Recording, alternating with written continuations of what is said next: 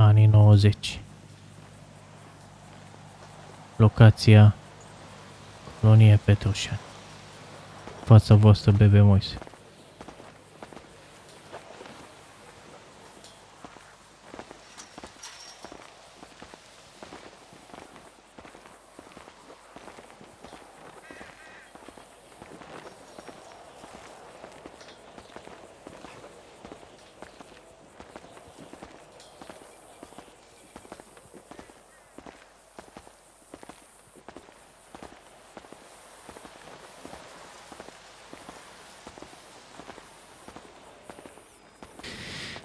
Zi minunată! Am nevoie de ceva tărie să încep dimineața asta. Ba, nu prea. Trebuiască să fac rog să niște bani.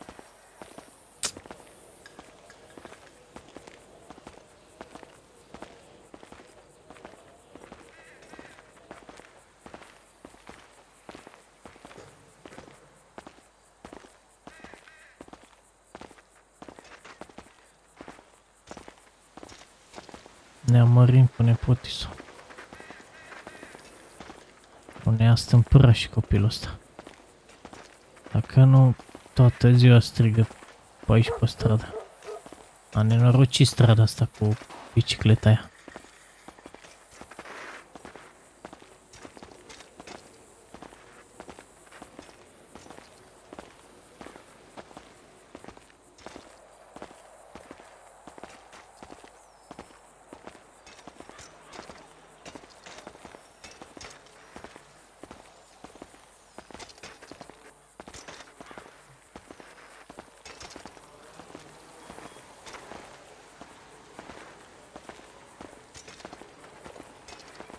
Neamărine, ce faci, mă? Bine, tataie, tu? Mă duc până la magazin. A, cum e viața?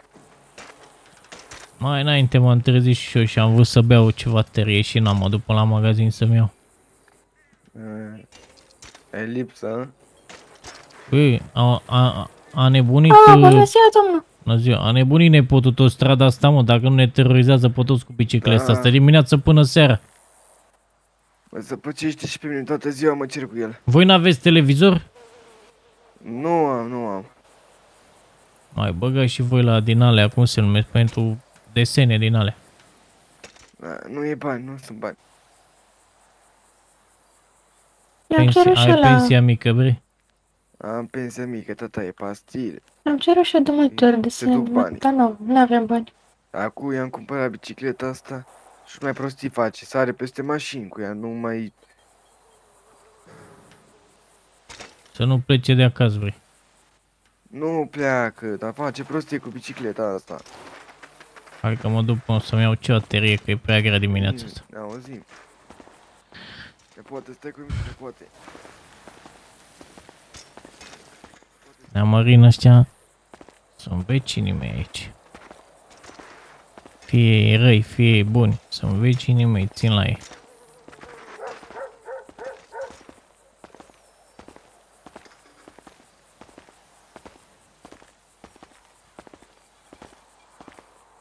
Viața grea. Acum după Revoluție, banii sunt din ce în ce mai puțini. Unii s-au îmbogățit, securitatea. Și noi care am fost săraci, toți săraci am rămas.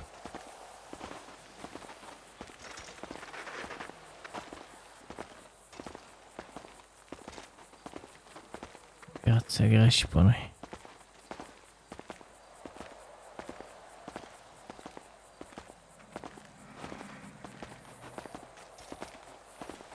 S-a uscat gâtul de când am mai băut o tărie.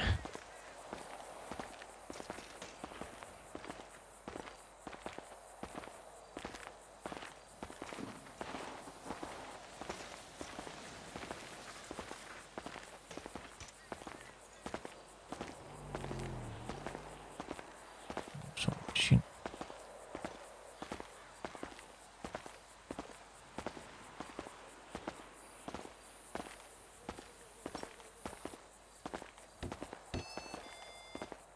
Uh, salut, Moise. Salut. Fă Hai și din mie un sipă. pachetel, te rog. Imediat. Cu tărie, te rog. A. Auzi? Mai sunt două, trei luni până la Crăciun. De Crăciun aduce și voi banane sau nu aduce? Banane, portocale. Aducem, Că aducem. mi-e dor, dă mirosul ăla. O să aducem. Să ia pachetele de aici.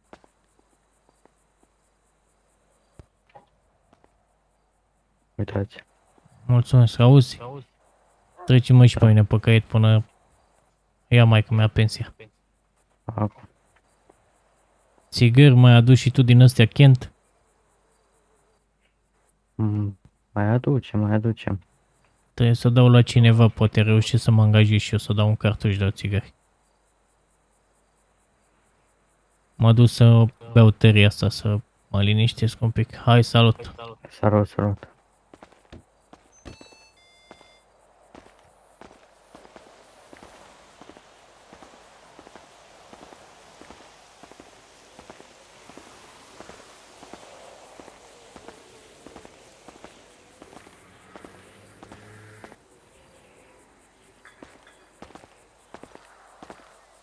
S-a întâmplat ceva acolo. Fi căzută la mine cu bicicleta. Poate, poate să o mai potoliș și el. Soarele ăsta puternic și nu văd nimic ce se întâmplă acolo. Și praful ăsta de la mina deja de aici. Praf și aerul ăsta rece de munte. Cred că a, a căzut cu bicicleta la mic. S-o potoli și el.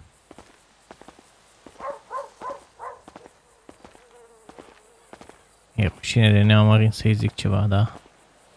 Sunt prietenii mei, sunt vecinii mei aici, îi iubesc. Mă, dar nu văd nimic, frate, de soarele asta. Păi, ce puțin mă neamărin? Neamărine, ești bine? Aoleu, a venit unii și ne-a bătut, domnul. Cine măre? Nu știu, niște domni au bătut, că ce că mă dădeam cu bicicleta pe mașinile lor și că le stric mașinile, domne, și l-au bătut pe bunicul.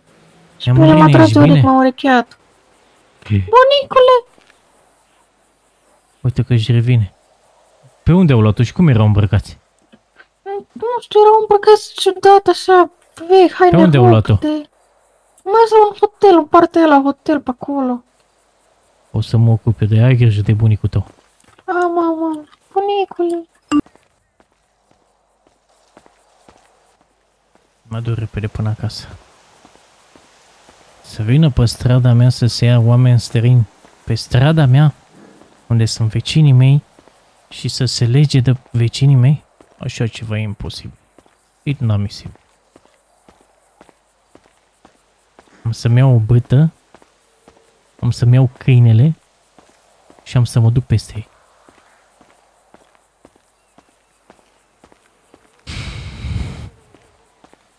Nici nu mai beau.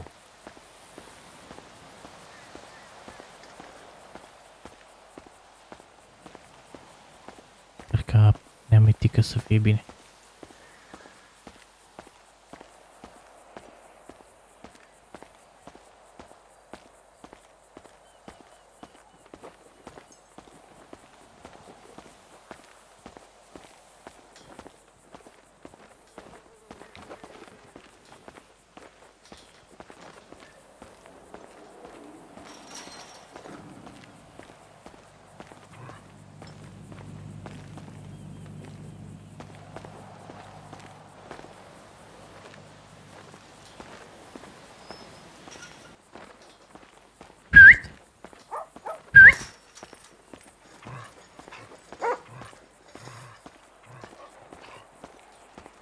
Mă duc peste ei.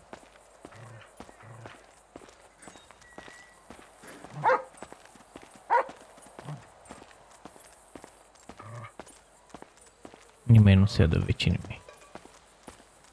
Mai ales străinii din alte cartiere.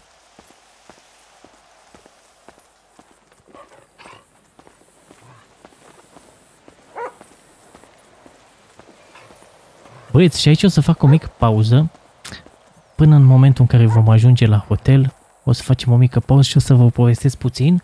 Uh, povestea asta este o faptă reală pe care mi-a spus-o unchiul meu, Dorinel îl cheamă. Uh, mi-a povestit așa când eram eu mai mic, mi-a povestit că bebe Moise venea acasă și pe stradă lui erau niște fete care le-a povestit, erau supărate sau plângeau și le-a povestit genul bebe Moise, băi, au venit niște moldoveni, moldovenii erau aduși la muncă în Petroșani, la mină de către Ceaușescu, au venit niște moldoveni și s-au luat de noi. Păi și unde suntem? Păi stau aici în cămin cazați. Și ce a făcut bebe Moise? S-a dus acasă și a luat câinele, avea un din ăsta, un mastiv din ăla mare rău de tot, un fel de ciobănești uh, mioritic din la mare, și a luat un lanț, l-a înfășurat pe mână și s-a dus peste ei acolo. Și ceea ce s-a întâmplat acolo o să, urmează, o să urmeze să vedeți și voi imediat aici, pentru că după ce a intrat acolo în, uh, în cămin peste ei, a fost scos la câteva ore, a fost scos de acolo de către miliție sau jandarmerie, nu știu dacă era jandarmerie atunci, dar au venit mai mulți milițieni și au reușit să-l scoată de acolo, bătând altfel aproape tot căminul acela de oameni care erau aduși la muncă cu forța.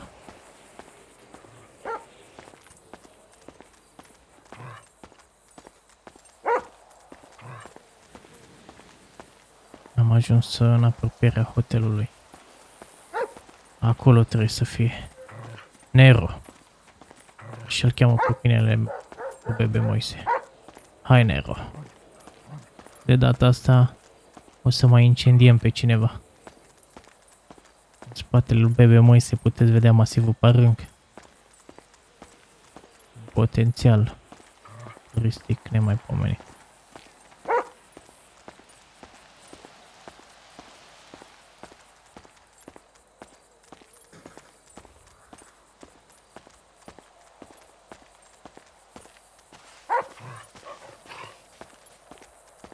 Hai, Nero. Că și astăzi să ne distrăm.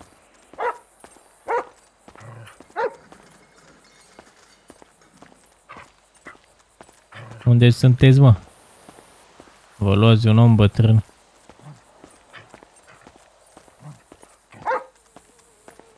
Băi, unde sunteți, mă? N-auziți?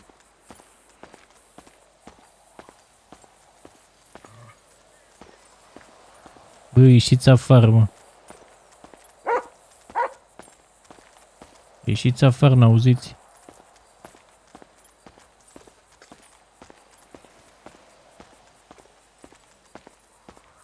Mă...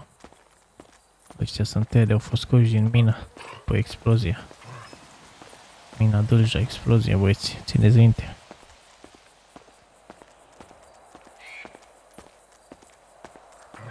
Bă, unde sunteți, mă?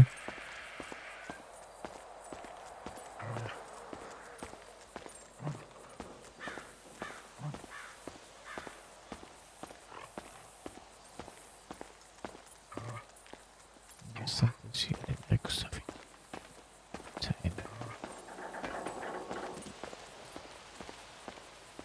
Bă, unde sunteți, mă? Ieșiți afară.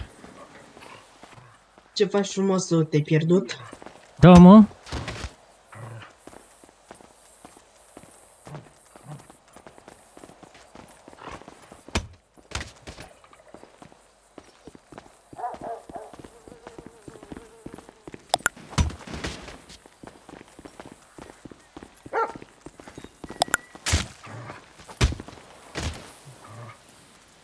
Oh. Să ai naibii să fiți. Uite mă, ăsta și-a revenit. Pun câinele pe el. Ia-l, tată, ia-l. Ia-l.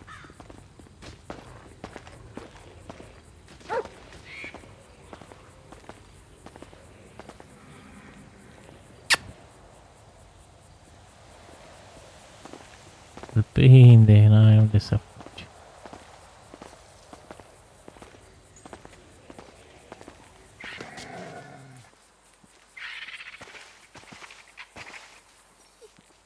să mergem acasă, Nero.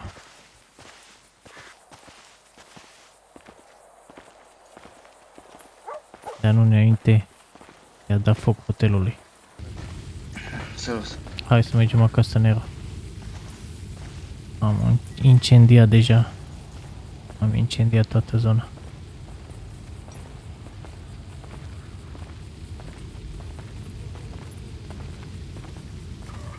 Făcând o paranteză, Bebe Moise nu a dat foc nimic, uh, dar uh, încerca povestea să aibă uh, miezul pove- poveștii să fie real, iar uh, vor fi adăugate unele detalii pentru a îmbunătăți vizionarea acestui episod.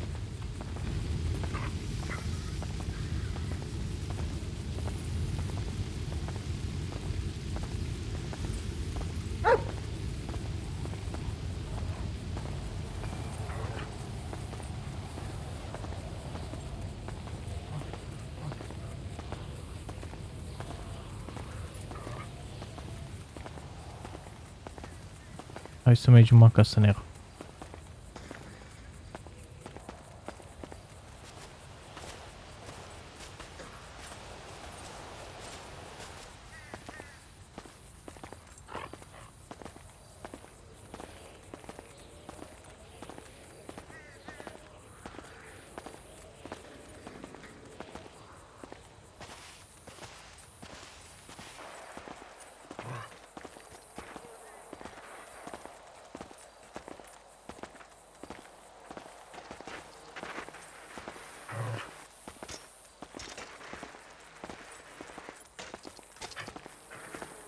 Băi, piciule, unde Da, e mă domnul. bunicul tău?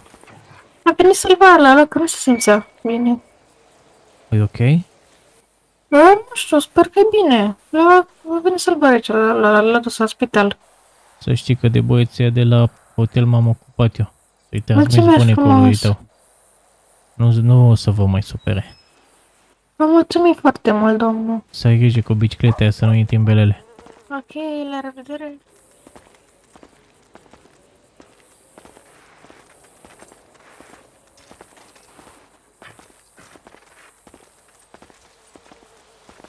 Hai, Nero, acasă. Să-mi termin și eu pachetelul. Și am să-ți dau și ție o franzelă întreagă. M-ai ajutat acolo.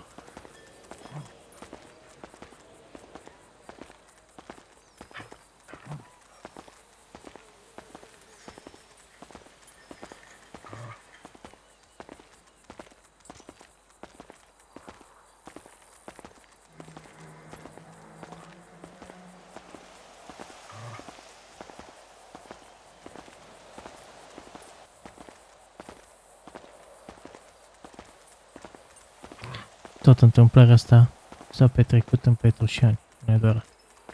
Undeva până anii 80-90. Am ales această casă pentru Bebe Moise pentru că am avut și clipuri aici în trecut. Am avut aici casa mafiei la un moment dat.